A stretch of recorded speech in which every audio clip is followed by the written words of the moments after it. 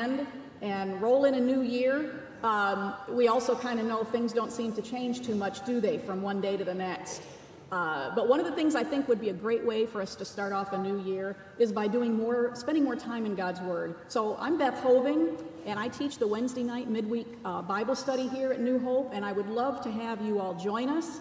We meet from 6:30 to 7:30 here in the sanctuary, and it's wonderful to get a kind of a shot in the arm and more of that spiritual food that we need during the week, especially uh, in the difficult world we're, we're living in. And we're going to be taking a look at seeing God more clearly in the midst of this difficult world, uh, what, what changes and what stays the same. So I hope to see you all there. I'm awfully glad you're here this morning to worship with us. Uh, if you turn your attention to the screen for further announcements, thank you. Good morning and welcome to worship at New Hope Presbyterian. Happy New Year! We are all praying and expecting 2021 to be a marvelous year of God's blessings. Because it's the first Sunday of the month, we'll be taking communion today. We're also excited to get back to full Wednesday night programming for all ages beginning Wednesday, January 13th. You can find more details about that in the e-news or on our website. We appreciate you taking the time to sign in to our friendship pad every week. You can share prayer concerns with us or let us know that you're watching us at home or here on campus. If you'd like to continue giving generously to God's kingdom, we have four ways for you to do that. You can text to give or give online. You're welcome to mail a paper check at the address you see here on your screen. Or if you're worshiping on campus, go ahead and drop it off in one of those white boxes as you prepare to exit the building.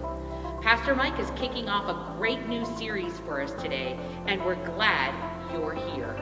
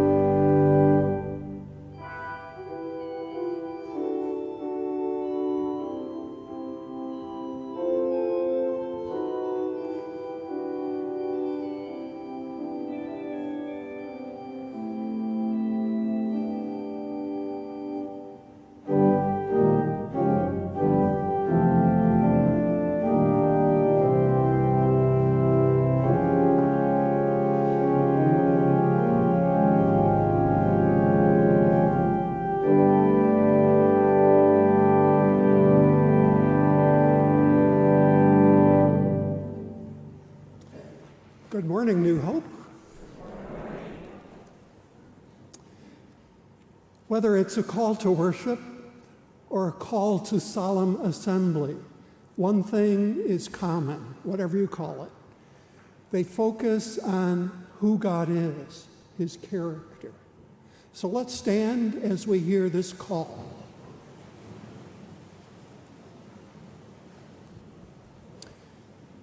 Arise, shine, for your light has come, and the glory of the Lord has risen upon you.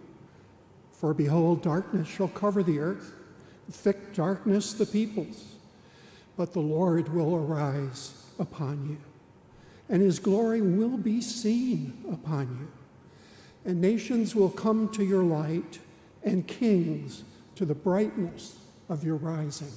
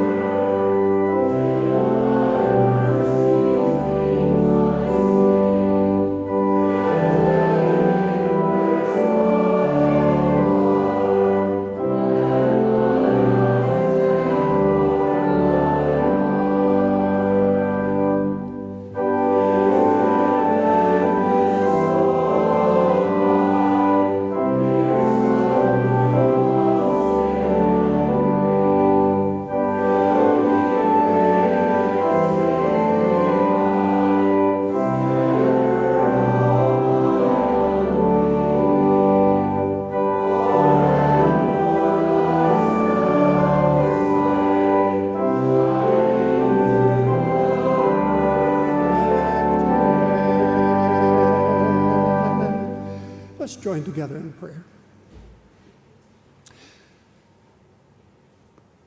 Lord, in this world which belongs to you, there are many things that are unsettled.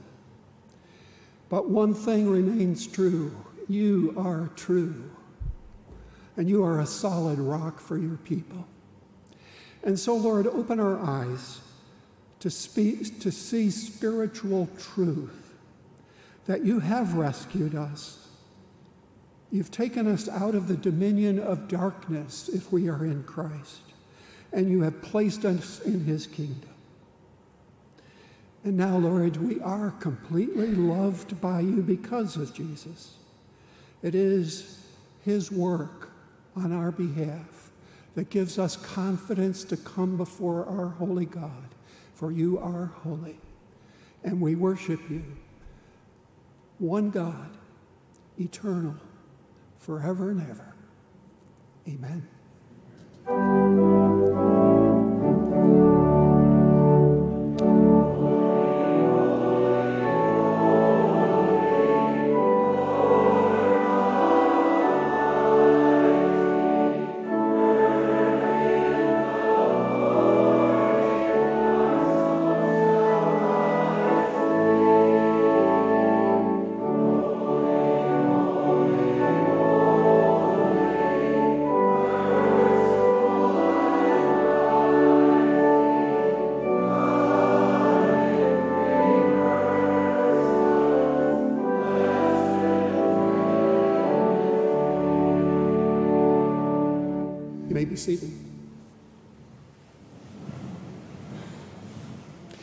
God tells us in Proverbs 28, verse 13, that whoever conceals his transgressions will not prosper, but he who confesses and forsakes them will obtain mercy.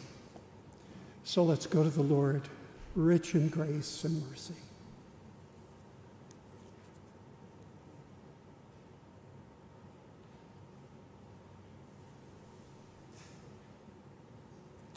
Hear our prayer, Lord, and let our cry for help come to you. We remember, Heavenly Father, how it is Jesus who said, I am the light of the world. And whoever follows me will not be in darkness, but shall have life and light.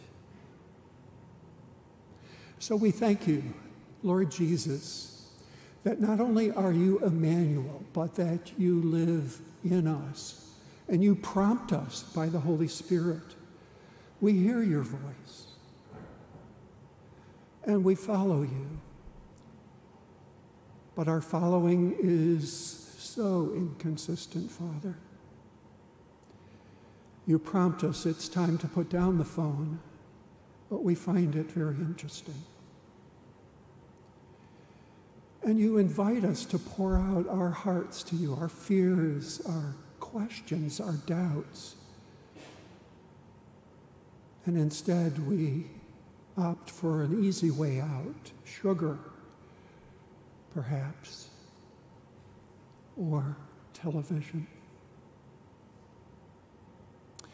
You prompt us, it's a good time to reach out to this brother or sister who's hurting. And we responded, we're so busy. Thank you that you are faithful and that our relationship with you does not depend on our faithfulness, but upon your faithfulness to us. So, in our world where sin is serious, where evil is picking at our guilt, and where pain is no illusion, open our eyes to see Jesus. He's the answer to our sin, He's the answer to chaos and the strife of this world. And he will one day break the brokenness, kill death, destroy destruction, and swallow every sorrow. And so we give you thanks and praise in the name of Jesus, who has taught us to pray together. Our Father, who art in heaven, hallowed be thy name. Thy kingdom come, thy will be done on earth as it is in heaven. Give us this day our daily bread, and forgive us our debts as we forgive our debtors. And lead us not into temptation, but deliver us from evil. For thine is the kingdom, and the power, and the glory forever.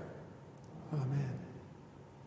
The one who confesses and forsakes their sin will obtain mercy. Here again, the gospel, the assurance of salvation in Christ Jesus. So from now on, we regard no one from a worldly point of view. Though we once regarded Christ in this way, we do so no longer. Therefore, if anyone is in Christ, the new creation has come, the old has gone, the new is here.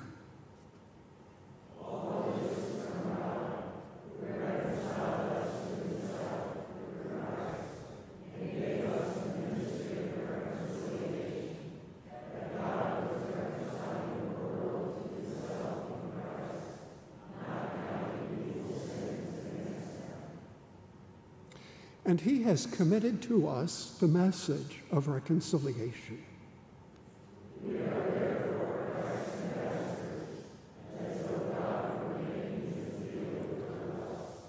We implore you on Christ's behalf, be reconciled to God.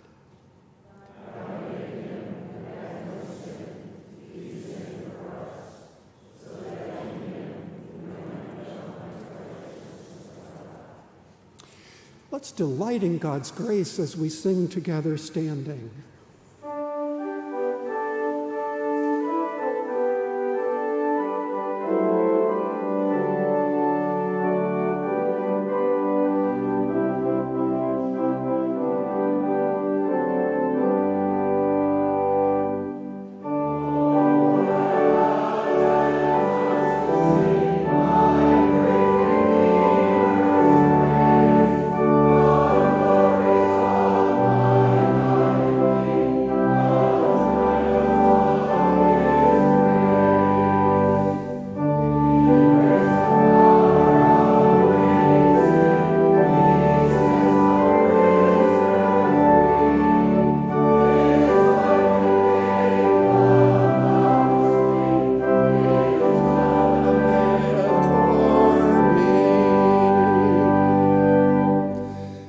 Church of the Lord Jesus Christ, what do you believe?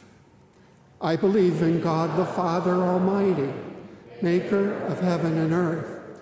I believe in Jesus Christ, his only Son, our Lord, who was conceived by the Holy Spirit, born of the Virgin Mary. He suffered under Pontius Pilate, was crucified, died, and was buried. He descended into hell. The third day he rose again from the dead. He ascended into heaven and is seated at the right hand of God the Father Almighty. From there he will come to judge the living and the dead. I believe in the Holy Spirit, the Holy Catholic Church, the communion of saints, the forgiveness of sins, the resurrection of the body, and the life everlasting. Amen. Let's prepare our hearts for hearing God's word.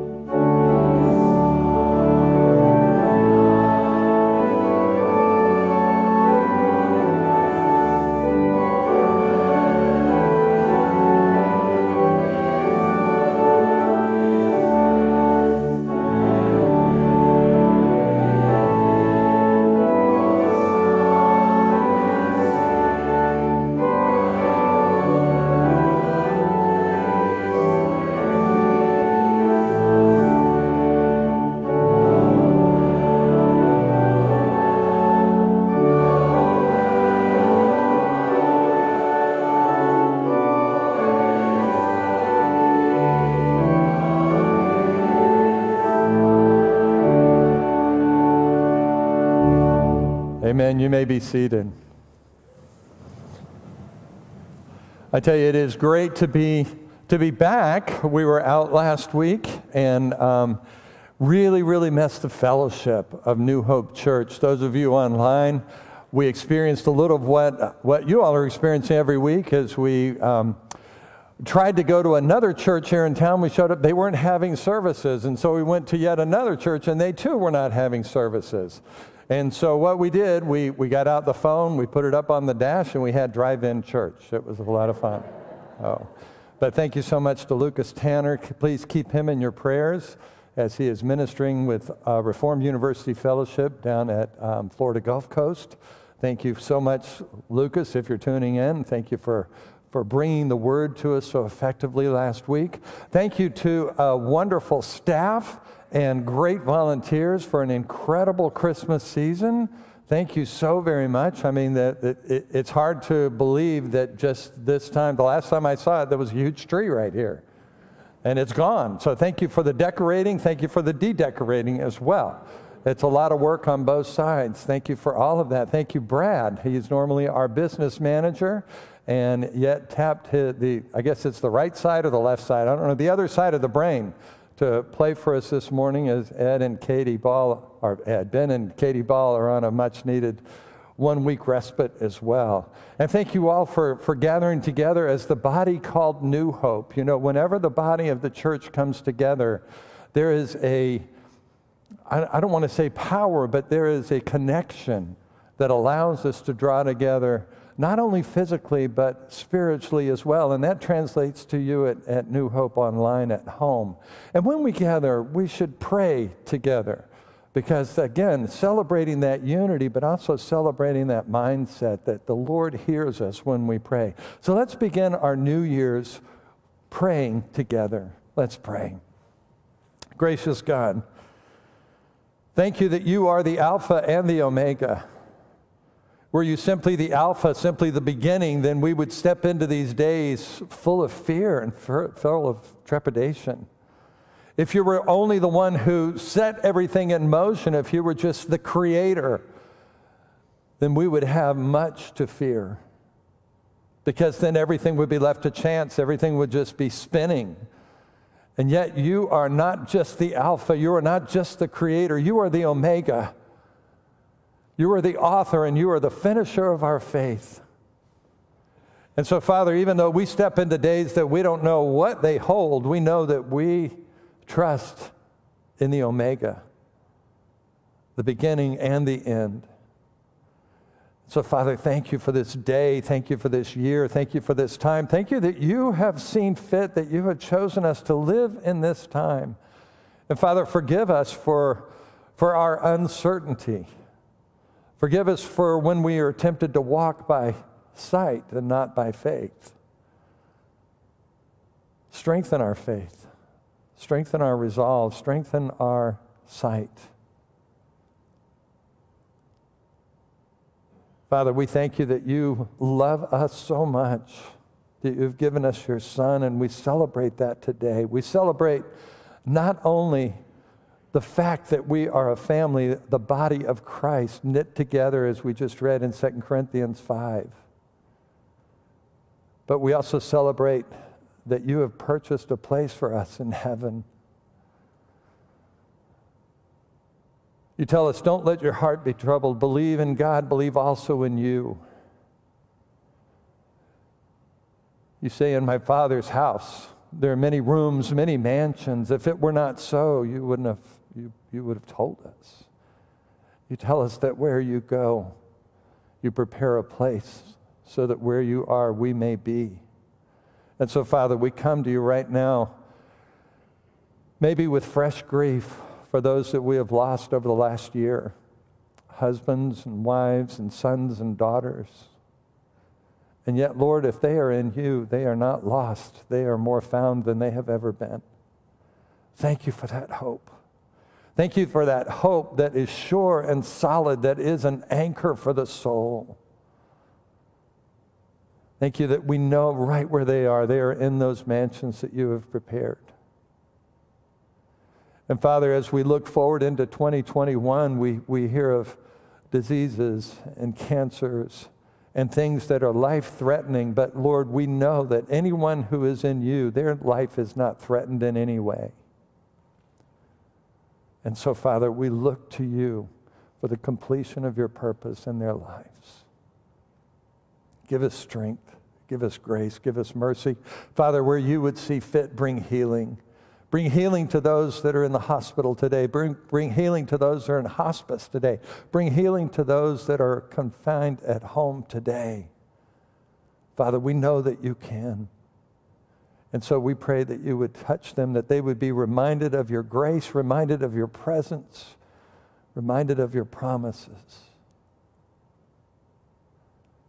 Father, we could not come to you as a body and as, as your church without lifting up our leaders and ask, Father, that you would give wisdom but that you would not only give wisdom, but that they would receive that wisdom because you tell us any of us who lacks wisdom, we should ask you, but we should ask expecting to do it.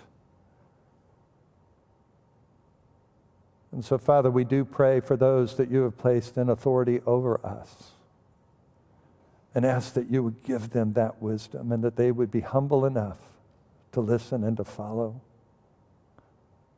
Father, we pray for our military around the world, for our other first responders, that you would give them grace, that you would give them mission, that you would give them purpose, but mostly that you would give them peace. Not as the world gives peace. You tell us in this world we will have trouble, but take courage. You have overcome the world. So use them for your purposes, Lord, to bring a type of peace that is just a foreshadowing of the peace that lies in you. Father, we do pray for our church. We pray for Pastor Eddie and Roxanne as they are onto a new calling in their life. And we ask, Father, that you would give them your richest blessings as they have blessed us. Father, we pray for your church called New Hope. That in 2021, Father, that we would stand out in a dark and perverse generation. That we would be your light, that we would bring your light, that, that, that you would light our path. Father, we pray that we would be people of your word because your word is a light to our path, and we need that light so desperately. Father, we thank you that you love us so much that you have given us your Son. We thank you for the grace that you have shown to us. We thank you for drawing us together from near and from far to be your church, to be your people, to be your children. And so, as your children, we cry out, Abba, Father, and ask that you would hear our prayers because we offer them in the strong and matchless and mighty name of Jesus Christ, our hope, our Lord, our God Himself. Amen. Amen. Amen. Well, it is a new year. Somebody said that now we can truly say that hindsight is 2020. I'm sure you'll hear that like a thousand times pretty soon, but still, it, it is true. This morning we have the opportunity to sort of step into a new series, a new year, a new time. And as we think about as we think about 2020, it would be easy to start listing off all of the things that in our mind and in our sight went wrong. It would be hard to remember the first three months of the year when things were going so right. I mean, on so many levels, the economy was roaring. There was a new sense of peace in the Middle East. There were all of these things going on around the world, and then all of a sudden in March, it came, in our minds anyway, crashing to a halt. It would be easy to get wrapped up on that. But today and for this series, we want to look forward. We don't want to look back, we want to look forward. The mission statement for New Hope Presbyterian Church. You may or may not have known this. If you go on the website, you can find out a lot more about it newhopefortmyers.org, but it's living out the gospel together. Did you know that? Did you know that was our mission statement? Living out the gospel together. Now, that statement didn't just sort of come out of thin air. Pastor Eddie and a team of very, very gifted and qualified folks sat for almost a full year examining looking at the culture that is, that is New Hope, looking at the things that we value deeply, the things that we say, if you take these away from us, we are no longer New Hope. And so for the next several weeks, we're going to be looking at some of those values. And today we're going to start with one called lavish grace. We believe and we value lavish grace. That comes from this, this verse in 1 John, it says, See what great love the Father has lavished on us. Isn't that a great word? Everybody say lavished. It's a rare word, isn't it? Because it's an expensive word. It's something that, that we don't use all that often. Lavished grace. That we should be called the children of God. And that's what we are. The reason the world doesn't know us is that it didn't know Him. Dear friends, now we are children of God. Lavish grace. This morning, we're going to look at, at lavish grace, and I'm going to give you a sentence, and we're going to kind of flesh that out as we go along here. See, God gives extravagant love and mercy, so we give it generously to others. God gives us that lavish grace, and that, that's what it means to have a value of lavish grace. Again, from the website, God gives us His extravagant love and mercy, and so we give it generously to others. This is demonstrated by reaching out to the hurt and marginalized people, not only in, in Fort Myers, but around the world, literally through missions. The, he does it by, by getting out, going out of our way to remember the forgotten and embrace the hard to love. That's what it means to have lavish grace. We lavish it upon others, undeserved love and forgiveness that hasn't earned and can never be repaid. That's grace. We offer God's love and grace when sin divides relationships and communities. our sentence that we're going to flesh out based on lavish grace, based on what does it mean to live in lavish grace? What does it mean to have a new year and a new you? What does it mean to actually walk out lavish grace in our lives and in our community? We're going to look at this sentence. Lavish grace produces deep gratitude and overflowing generosity. Everybody say it together. Lavish grace produces deep gratitude and overflowing generosity. Let's break that apart a little bit. Let's talk a little bit about lavish grace. Lavish grace. There was a guy, he was known in his time as John the Blasphemer. John the Blasphemer. In, fact, it's kind of a, a, a, strange reference, but there's at least when you go back and you look it up, at least on Wikipedia, which we know has got to be true, right? In Wikipedia, after all. But it says that there's two words in the, in the cursing lexicon attributed to this guy named John the Blasphemer. John the blasphemer was a sailor, and he was so he was such a jerk, basically. One time he fell overboard, and the crew, instead of throwing things to float that he could hang on to, started throwing harpoons at him. That's true. That, that's what happened to this guy. He was, had an anger issue. And John the blasphemer got angry at the captain of the ship, and so he took a swing at him. Well, of course, they threw him in the brig, right? And while he was in the brig, he worked with some of the other prisoners to stage a mutiny, to kill the captain and all the crew and take over the ship. So when they got out of the brig, the night that they got out that they were going to Im- implement this plot to take over the whole ship, there was a, a terrific storm. It came and everybody thought they were going to die.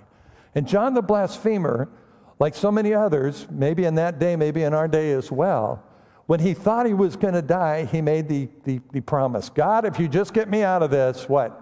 I'll do anything you say. Well, God did get him out of it. And John the blasphemer gave his heart to Jesus Christ. And John the blasphemer, we may know him better as John Newton. He's the one who wrote that hymn, Amazing Grace. How sweet the sound that saved a wretch like me. You see, it's grace that takes someone from being John the blasphemer to John the hymn writer, the poem writer, who had an amazing grasp of what it meant to be filled with grace. You know, so many of us, we, we, we're, we're so used to that word grace, we forget the depth of the grace. We forget that, that God's grace is the only thing that changes us. Let me ask you this What if, to start 2021, somebody were to come up to you and say, You know, all that debt that you're carrying into 2021, I'm going to pay it off. What if, you, what if somebody came up and said, You know, all of that, that debt, your mortgage, everything, everything that's interest bearing, credit cards, car debt, every debt you've got, I'm going to pay it off. How would you feel about them? What, what would you say? Thank you, Jesus, right? I mean, uh, what difference would that make in your life if someone paid off all of your debt? And not only that, what if, what if somebody said, Not only am I going to pay off your past debt, I'm going to pay off your debt from now until you die. I'm going to pay off everything that you're ever going to get indebted to. I'm going to pay it off. How would you feel towards that person? They would change everything about you, wouldn't they? Well, what that is in a financial sense, Jesus has done in a spiritual sense. He has paid off every debt we've ever had, and He will pay off every debt we ever will have. You see, that's grace. That's lavish grace. The Bible puts it this way His glorious grace, which He has freely given us in the one He loves, in Him we have redemption through His blood, the forgiveness of sins, in accordance with the riches of God's grace. You know, grace is, is actually, it's, a, it's an old Greek term. I found this fascinating. I didn't know this until this week. It's an old Greek term. And, and what it was was when somebody stronger and more powerful gave something to someone who was weaker and more vulnerable. We were watching that series, The Crown. Has anybody seen that? The Crown about the Queen, right? And I'd always wondered, you know, when, when they get in front of the Queen, they don't say, Your Highness. Have you noticed they say, Your Grace? Your grace, your grace. Where that comes from that concept. When they get in the, in the presence of someone who has more power than they do, who has more position than they do, who can change their position in life, they don't call them your highness, they say your grace.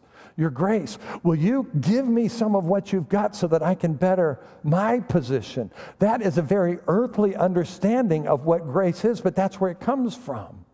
And so when we think about grace, when we think about lavish grace, we have to think in terms of this is a God who has everything, everything, the riches of God's grace. We who have nothing, He has given that to us. You see, that's grace. That's the kind of grace that we cannot in any way ever buy or steal or take or even borrow. It's got to be given to us. Now, for some of us, it's like, yeah, Mike, I've heard that, I've heard that, I've heard that, I've heard that so many different times. I get it. But some here today, even when we talk about this, even when we back it up with Scripture, even when we show it to be the truth, you're like, I just can't believe in a God like that. I just can't believe that there is a God like that who would, who would do that for me. Because the God in my mind is the one who judges. The God in my mind is the one who is on the throne and the one that says, You got out of whack, I'm, I'm going to whack you down. Because even though we don't like to think that way, it is the way we are wired to think. Because you see, we understand what it means to owe, and we want to pay that back. We understand what it means to, to not be right, and we want to try to make it right. And God says, You can never pay it back. You can never make it right. It is a gift. In fact, it says it this way lavish grace, Tony Evans said it this way lavish grace is the inexhaustible favor or goodness of God, giving us what we could not earn, do not deserve, and would never be able to repay. It is unmerited favor. And he went on and he talked about have you ever been to Niagara Falls? and the water. Anybody ever been to Niagara Falls on the Canadian side? On the American side, it just kind of drops off, but on the Canadian side, the power of that water. Can you imagine if that water ever stopped? It never has. And as I, I presume it never will, or, or maybe this one's a little bit better because we're near the beach. Can you imagine the waves if one time the waves just stopped? It doesn't happen. That's the way God's grace is towards us. Inexhaustible, inexhaustible favor of God. Do you see God that way? Have you experienced his amazing grace? You see, going back to our verse, 1 John 3 1, see what great love the Father has lavished on us that we should be called children of God. You see, there's two ways that, that a lot of us approach grace. Some of us see it and say, it's, it's, it's just too good to be true. It's unbelievable. I cannot accept that because it's just too good. I'm not good enough to receive that. And if that's you today, I, I, I want to challenge you. I want to challenge you today to say, I receive what I cannot earn. I grab hold of what is grabbing hold of me. I take your grace and I bring it into me. But there's another group. There's some other of us that sit here and say, yeah, yeah, that grace stuff, that's fine. That's for those people that, that really need it. But me, I'm doing pretty good. I just need some polish here and there. I mean, I have my days, but on the other hand, I'm, I'm doing pretty good. You know, especially when compared to that guy over there. It's like the two guys that were out bear hunting. And one of them, every morning, he'd wake up and, and work out and all that kind of stuff, and the other one just kind of lay there. And um, they, the, the one that just kind of laid there all the time came to the other one and said, Why do you do all that working out, all that kind of stuff? Do you really think you're going to outrun a bear if he starts chasing us? And he said, Well, I don't have to outrun the bear, I just have to outrun you. you see, that's what happens when we start using ourselves as a comparison. When we start saying, Well, I, I, may not be holy, but I'm holier than thou. I'm holier than that one. I'm holier than the one over there. So, really, God's grace, that, that's all well and good. But God got a pretty good deal when He got me. And some of us actually think that way. Some of us actually approach the throne of grace that way and say, Jesus, thanks for that. I got it from here. I'll take it. You see, grace, grace says, uh uh-uh. uh Ephesians 2 says, You were dead in your sins and transgressions. You were dead. What can dead people do? What good are dead people? Well, maybe a insurance policy, but that's beside the point. You see, we can do nothing for ourselves. I like the way Tim Keller describes that. He says, For so many of us, we think that we were in the deep end of the pool, flailing around, and God threw a life preserver to us called grace. In reality, we were at the bottom of the pool blowing bubbles, completely dead. And God reached down and pulled us out by his grace, lavish grace, lavish grace. Look what it says in Romans 8. He says, What shall we say in response to these things? If God is for us, who can be against us? Someone today needs to know and hear and grasp and understand that God is for you. God is for us. He does not accuse, He does not condemn. If you are in Christ, we read it a minute ago. You are a new creation. The old is gone, the new has come. Look at what he says in Isaiah 3 Yet the Lord longs to be gracious to you. He longs to be gracious to you. Therefore, he will rise up to show you compassion. Some of you in 2021, you need to, you need to make this the year that you understand, that you grasp, and that you own this lavish grace. Look at what he says in Romans. I, uh, one of the ways to remember a passage is to, to put something with it. This, this passage will hit you like a two by four. Romans 2 by 4. Maybe you'll remember it. Or do you show contempt for the riches of his kindness, forbearance, and patience, not realizing that God's kindness is intended to lead you to repentance. That's grace. That's lavish grace. That is lavish grace. And if we don't, if we don't grasp that, if we don't understand that, if we don't begin with that, if we start thinking that we've got it all together, we need to understand what, what Jeremiah said. He said, The heart is deceitful above all things and beyond cure. You see, we, we can't spend enough time talking about grace, although, on the other hand, it seems like all we do is talk about grace. Because that's all we've got. Because left to ourselves, we're dead in our sins and our transgressions. But that verse goes on, it says, But because of his grace, he has made us alive.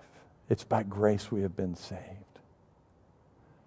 I love the way Tim Keller says it. He says it this way May you never get over the fact that God has invaded your life with grace.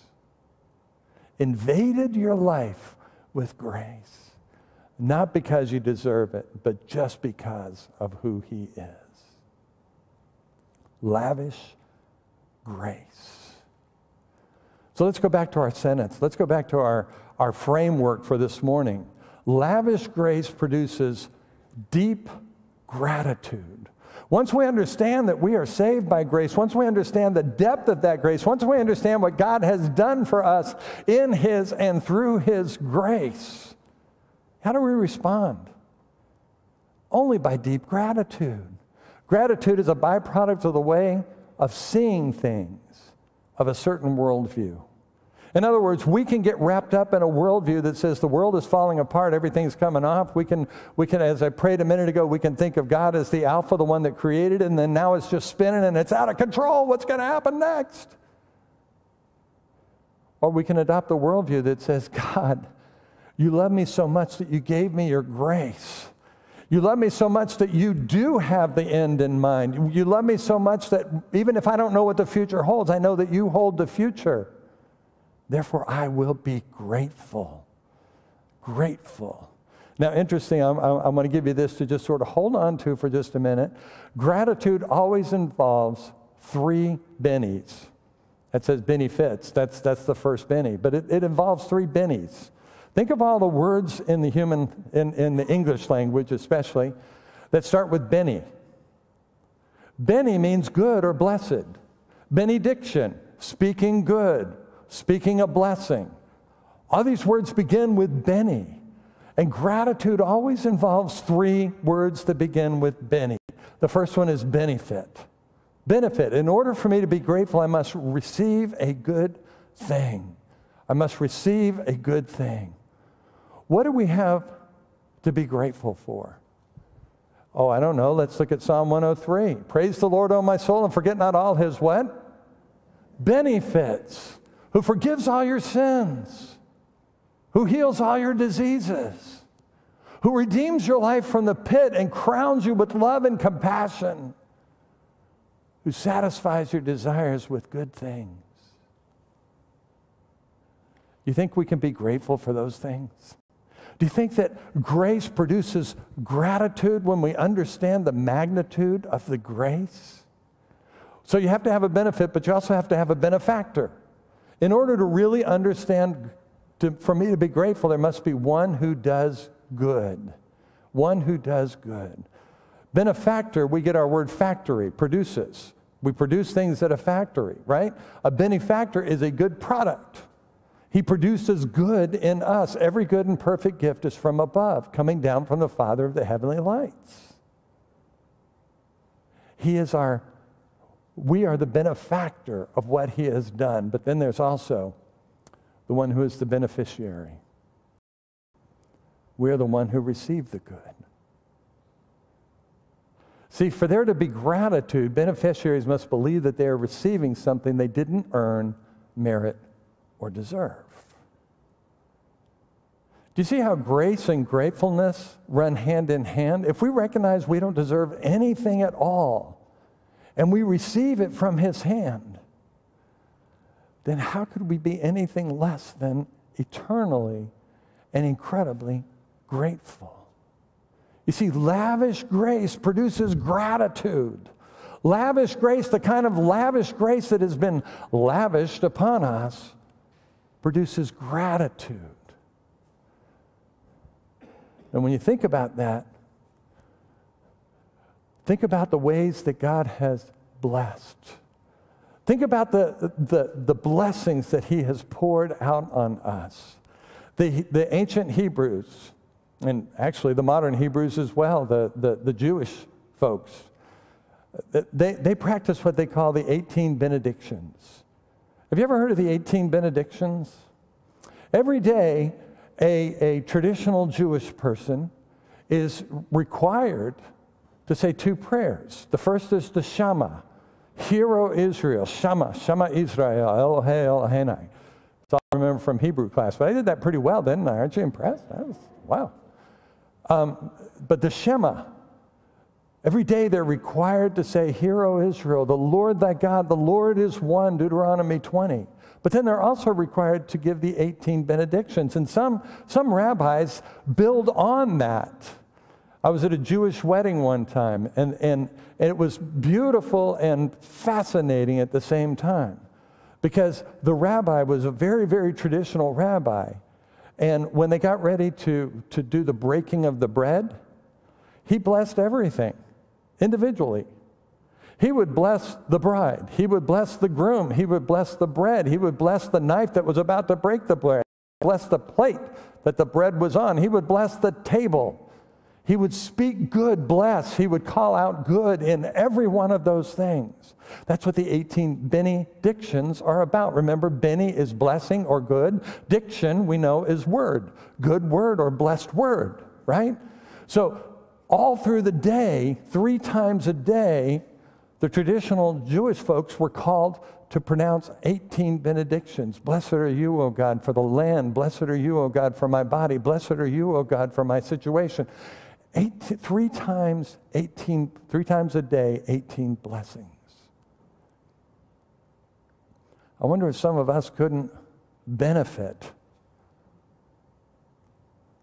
from looking and calling out where God is blessing.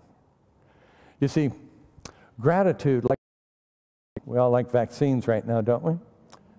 Can prevent the invasion of a disgruntled, discouraged spirit. Like an antioxidant, gratitude can prevent the effects of the poisons of cynicism, criticalness, and grumbling. Like an anesthetic, a spirit of gratitude can soothe and heal the most troubled spirit. Remember the children of Israel? They were delivered out. I mean, can, can you imagine can you imagine walking across the Red Sea and you've got, I mean, I'm, I'm thinking of the Cecil B. DeMille Moses thing. Remember, they're walking through and there's water on both sides and all that kind of stuff. They walked through, they experienced that. They got on the other side and what they start doing? Grumbling and complaining. Grumbling and complaining. They had just literally experienced deliverance. And what do they do? They start grumbling and complaining and speaking against Moses and speaking against God and saying, you know, back there at least we had leeks and onions.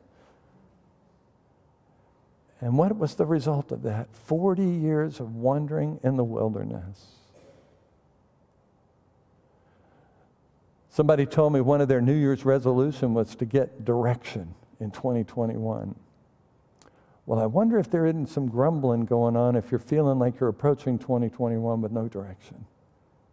I wonder if there isn't some grumbling going on inside your camp or inside your heart, saying, at least in 2015, I had a, at least then I had, even though you have experienced the lavish grace that calls you children of God.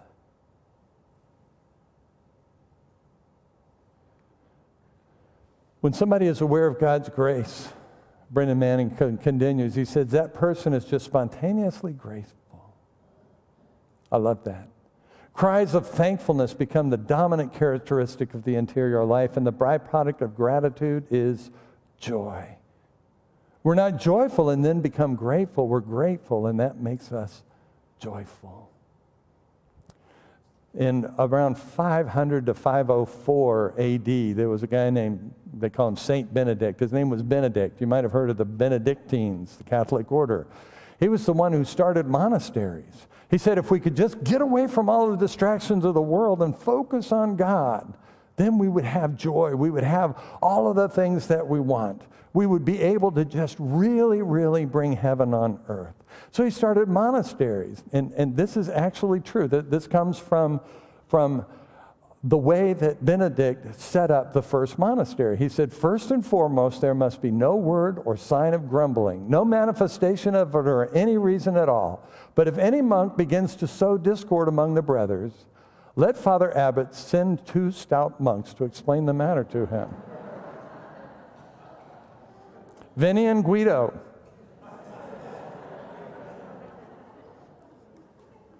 You see, it doesn't matter where what, how hard we try to get away from that grumbling and complaining always seem to creep in. What's the solution? What's the solution? Gratitude. Gratitude that becomes joy.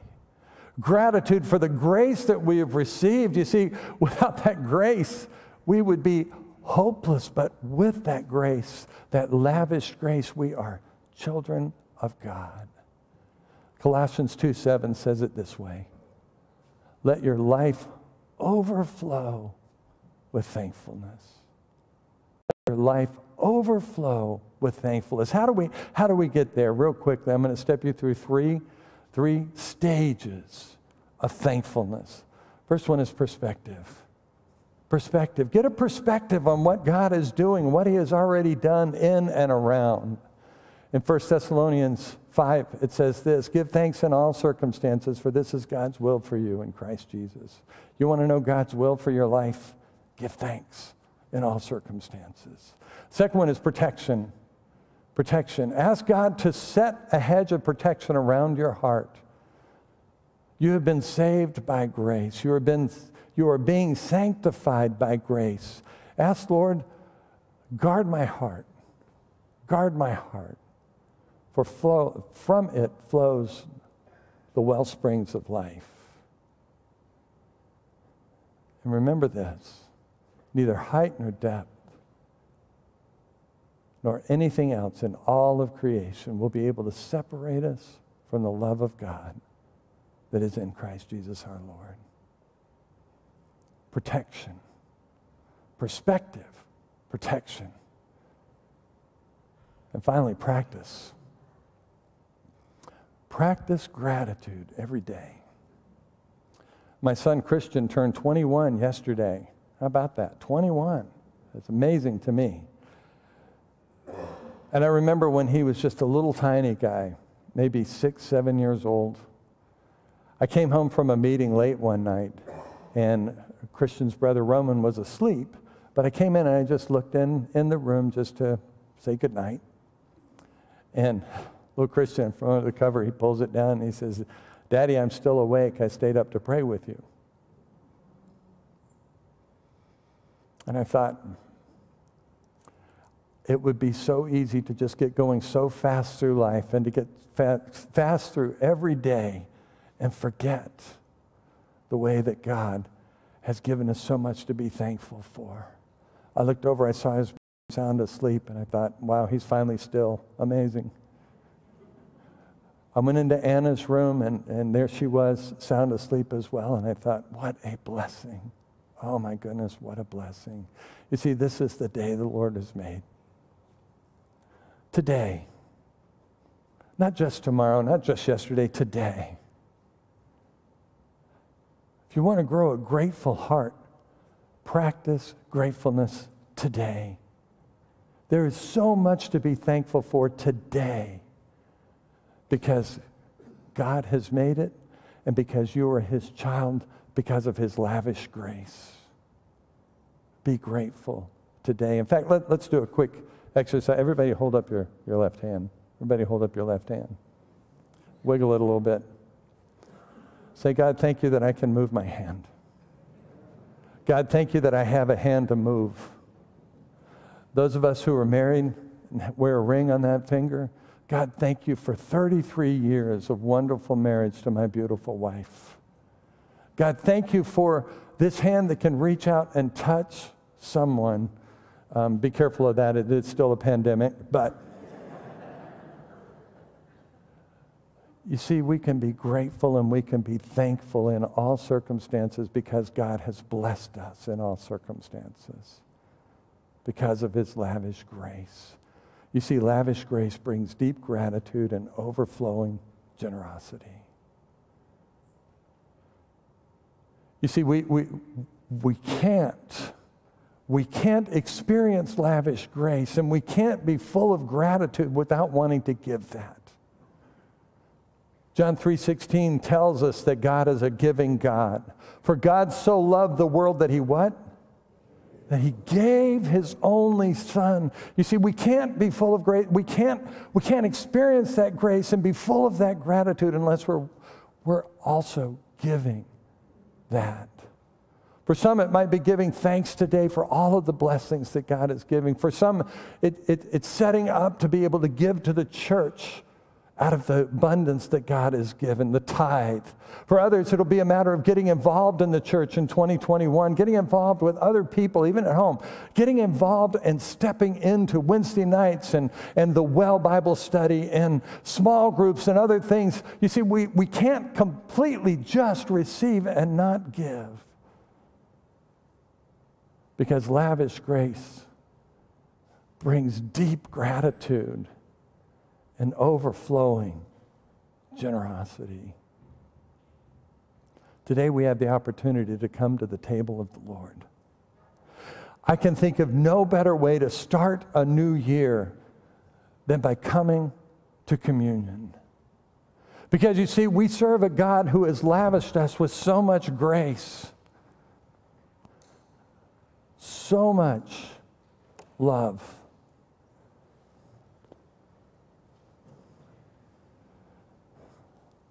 That on the night that he was betrayed, Jesus himself took bread and check this out. He gave thanks. Have you ever thought to think about what Jesus must have been thinking when he gave thanks and he said, This is my body which is broken for you? He gave thanks because he knew that this was lavish grace. He knew that this represented his body that was going to be broken for the forgiveness of our sin that his body was going to pay that debt that we could never, ever, ever pay. Have you accepted that lavish grace? Have you come to the place in your life where you said, God, I was dead, but now I am alive? I receive from you your lavish grace. His body broken for the forgiveness of sin. And then he took the cup and he said, Not only that, he gave thanks for the cup. And he said, This is my blood. And it is shed for the forgiveness of your sins. Compared to that, everything else pales. Because by forgiving our sins, he gave us the right to become sons and daughters and receive that lavish grace. Have you received? the blood to cover your sins. If you have, this table is for you. If you haven't, we would ask that you not participate today because of what it is for those of us who have placed our hope, who have placed our trust, who have literally placed our eternity in the broken body and shed blood of Jesus Christ our Lord. Let's pray together. Gracious God, we thank you for the bread. We thank you for the juice. We thank you for this time that you have given to us to just slow down and realize this is the day that you have made.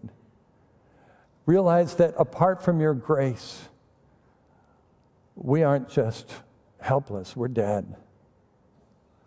But because of your great love for us, you gave us Jesus Christ. It's by grace we are saved. And that's not of ourselves, it is a gift from you so that we won't boast. And so, Father, we pray right now that you would set aside this little thing that I'm holding in my hand. It's kind of like a half and half.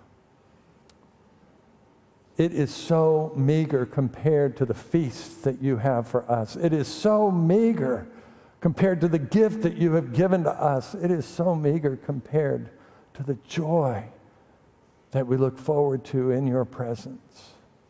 But God, we do pray that you would set it aside from its earthly use and that you would use it to remind us of the great price that was paid, that your grace could be lavished upon us. And so we offer it to you now in Jesus' holy name. Amen. On the night he was betrayed, Jesus took the bread. And when he had given thanks, he broke it and he said, This is my body, broken for you. Take, eat in remembrance of me.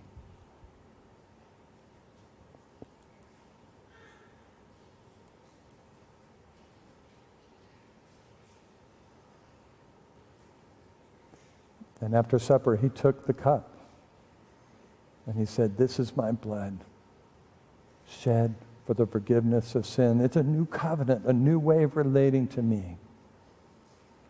Drink all of it. And whenever you do, you proclaim my death until I return. Amen.